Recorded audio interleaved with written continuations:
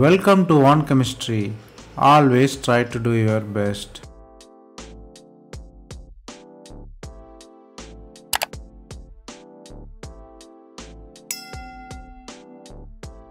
Now, let us see about 100 conversion in organic chemistry.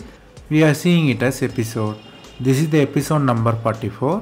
If you didn't watch previous episode, I encourage you to go and see. Here, we solve 5 problems step by step. Stay tuned.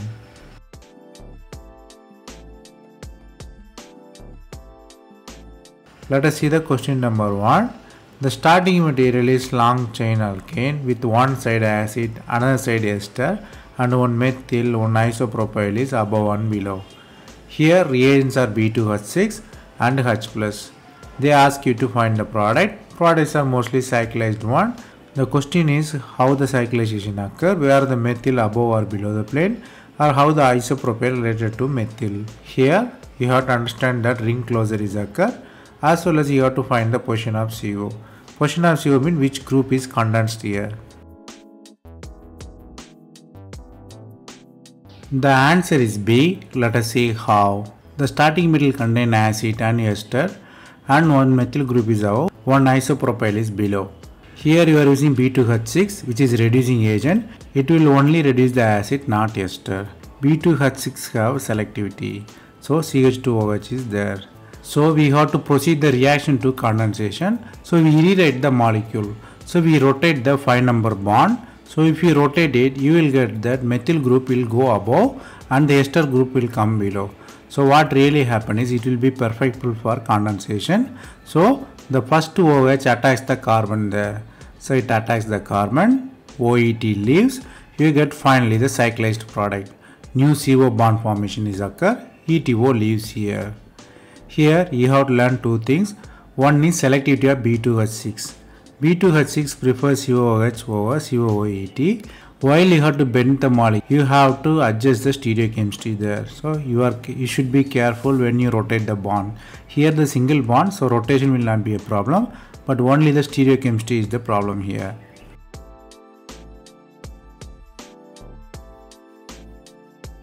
Then the question number 2. The starting metal is 6 member system. Inside one bridged carbon also there. Here one methyl group is above, one methyl is below and OH is also in the third position. Here reagents are NOCl and pyridine and light and finally hydrolysis. Here four choices are given. Among that one methyl group is oxidized whether to CHO or COOH.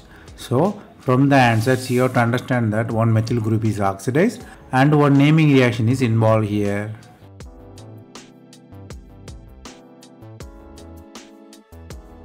The answer is C. Let us see how. You have NOCl and pyridine. By looking at the reactants, you might guess that it's a Barton reaction. Barton reaction, first step, you convert OH into NO. So NO has the capability of leaving as a free radical. When you use the light, so NO leaves, free radical forms. So what really happen in Barton reaction is the delta carbon or the 6 member intermediate forms and hydrogen transfer to the radical there. So H transfer occur, radical formed at the delta carbon which is CH2 radical. Then the remaining NO will add to that one form NO. Basically we are exchanging hydrogen and NO here so it's the same thing. Then the next step keto-enol tautomerism kind of thing is occur. Here it's the imine one. So the isomerization occurs. So OH will be formed and C double bond N will be formed here. So if you do hydrolysis you have aldehyde. Here from the reaction you understand that no stereochemistry is playing any role. Here it's given for confusion. Here you have to learn two things. One is Barton reaction. Barton reaction is just the exchange of O and NO between alpha and delta carbons. Second thing is hydroxylamine can be converted to aldehyde by mere hydrolysis.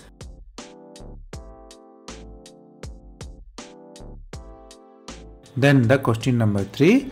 The starting material is bicyclic system with one bridged carbon and the second position two methyl groups are there on chlorine also there in the first position. Here you are using the reagent in chloride. They ask you to guess the product. Here four products are given. The position of chlorine is endo or exo or where the two methyl groups are there. Here from the answers you might guess that the carbon skeleton changes occur, occurred and the portion of methyl and chlorine also in the real question. The answer is B. Let us see how. The starting metal is a tin chloride which is Lewis acid which can abstract the chlorine and form carbocation. So the carbocation in the bicyclic system always forced to a non-classical carbocation meaning bridged carbon cation will be formed. That cation is particularly stable because of its resonance stability. The bonding carbons can exchange it and form the extra stability from the resonance. Here, even though already tertiary cation is stable, it will move to secondary one because of its resonance stability there. Then next step, we rewrite it to it. Then the fifth position you have methyl groups and the seventh position you have cation and sixth position you have methyl there. Then you are using the chlorine. Chlorine only attack in the endo position because exo approach is very hard because of the steric effect of the two methyl groups there. The methyl groups are bulky so the attack in the seventh position is only endo. Here you have to learn two things. One is non-classical carbocation is very stabilized in the system if you have the carbocation formation. Second thing is if there is a bulky group on the bridge, you have always have the endo one. Then the question number 4, they ask you to guess the starting material but products are with nitric acid to opened bicyclic system which is dicarboxylic acid. On the other side you have the cyclic ester in the same bicyclic system. Here they ask you to guess the product. The reagents are mostly differ in the carbonyl group difference. Here you have to understand that the effect of reagent on the same substrate. So you have to guess the reagent. From that you have to guess the starting material. The answer is A. Let us see how. Here starting middle you have bridged carbon system where methyl groups are in the bridge and carbonyl in the below one. So if you use methyl CpBa which is peracid, Baeyer-Villiger oxidation will be happen. So Baeyer-Villiger oxidation mere oxygen insertion will be there but which group will migrate? Normally the bulky group cannot migrate so only simple groups migrate. Carbon insertion between carbon and another carbon so ester is formed. Same thing if you use nitric acid, what will happen? You have to write keto-enol tautomerism there because you are using the acidic condition. Then we are doing oxidation there. So if you use oxidation, what really happen is double bond, CC double bond becomes two COH groups. So starting middle is clearly A here. Here keto-enol tautomerism is crucial since you are using the acidic medium, enol form is stable there. Here you have to learn two things. One is Baeyer-Villiger oxidation, migration ability bulky groups normally don't migrate. Second thing is if you use the acidic medium, enol form is stable, then it will be oxidized by nitric acid.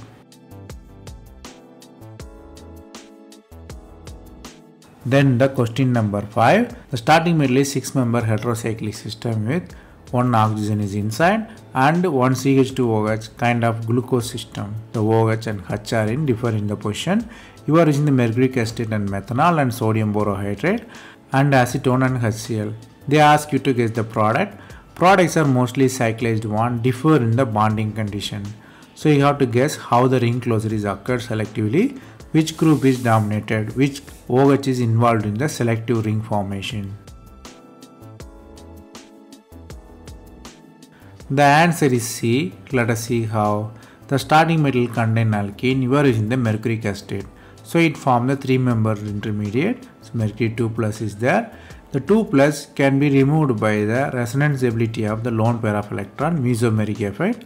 So the lone pair move and the cation formed at that position.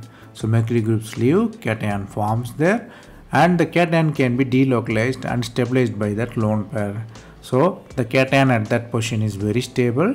The demercuration leads to the cation formation. Then you are using the methyl alcohol. So methyl alcohol, the cation converted into the MEO group.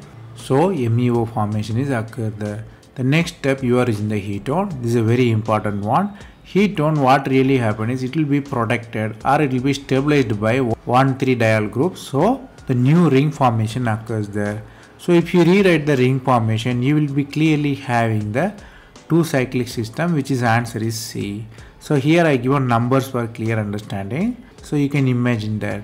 Here you have to learn two things. One is when there is a cation formation, cation always form near the lone pair system. Here it is oxygen. Then the next thing, the ketones will be stabilized by 1,3 diol groups. which is normally the protected group in the total synthesis. So you should know ketone group is protected by the 1,3 diol.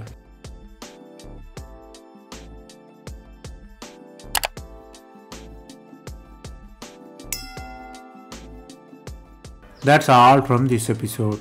I hope it was easy. Thanks for watching. If you have any suggestion comment below. Stay tuned for next episode.